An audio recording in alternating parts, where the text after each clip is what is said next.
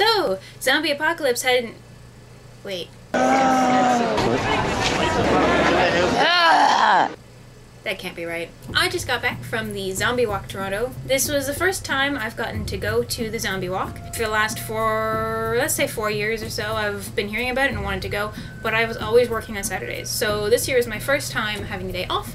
I really wanted to check it out. In terms of what I'm wearing, I did want to wear one of my costumes because I have like a closet full of costumes. Of course I'm gonna wear a costume. And I had a couple of options, but I ended up wanting to go with Gabriel.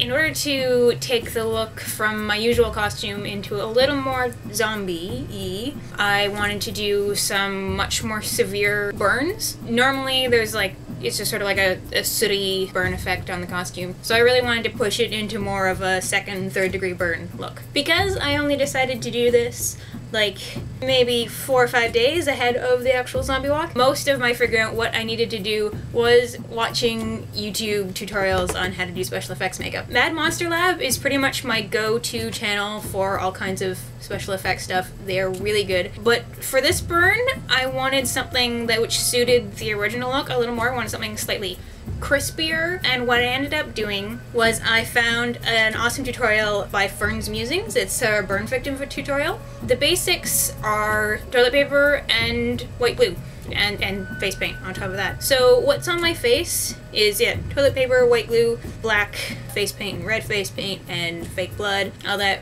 wonderful zombie effects makeup stuff.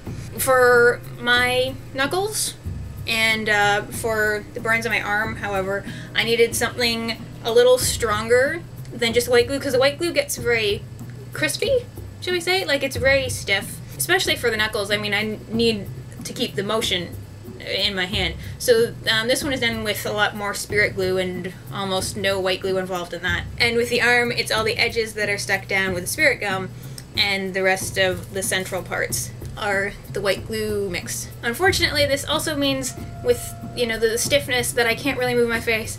And I've been wearing this for so long that it's just, oh, it's bugging me so much. And, and I could do that because there was no spirit gum on. I can move my face now. Let's get this one off too.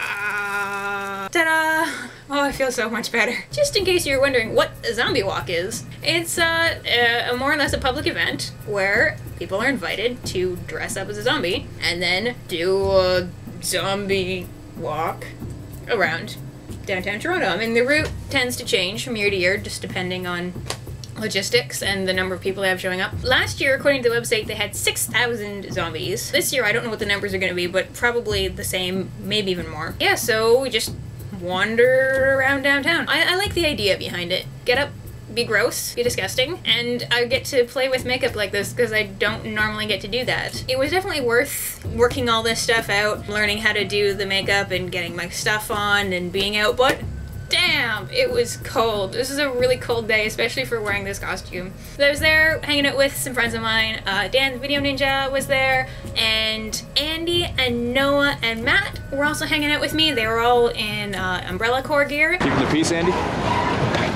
Well, we're just moving these guys along. They've been well fed, it seems. Very docile for the most part.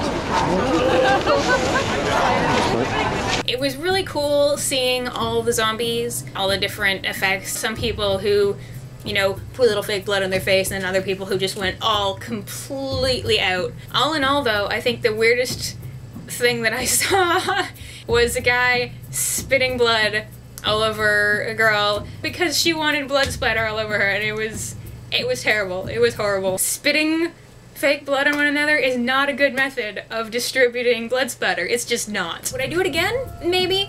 I had to duck out early because A, I was just so cold, and B, I have other things to do today. In any case, I think I would go back next year. I might duck out again early next year. I would definitely wear something warmer. I'm normally cold to begin with, so once you put me in an outfit like this and put me outside on October 22nd. It's chilly. I really did have icy hands of death today. I got, oh, I got my knuckles off. Isn't that wonderful looking? I, I don't even know what my face looks like right now. Let's see if I can get this one off.